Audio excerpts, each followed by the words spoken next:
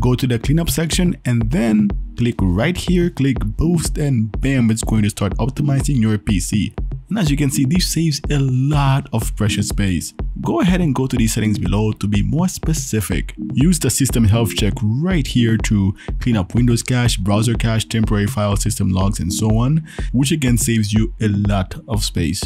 Alright, now go to the storage manager to take things to the next level. This option right here is amazing, the one that says manage large files. So basically, you can delete specific file sizes and look here they are and then right after that you can go ahead and do a deep system cleanup to remove temporary system files now don't forget about the recycle bin especially if you don't have anything there you can save up a lot of space by removing unnecessary things there Next, go ahead and use the process management to see which apps in the background are eating up all of your resources.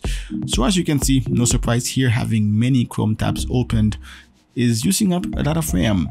So go ahead and close the apps that you don't need to be running. Next for startup apps, go ahead and really focus on the apps that have a high startup impact. The higher the impact, the slower your startup. So if you don't need that specific app, please disable it. And that's it. These settings right here should pretty much optimize your PC. For more videos like this, subscribe. Thanks for watching.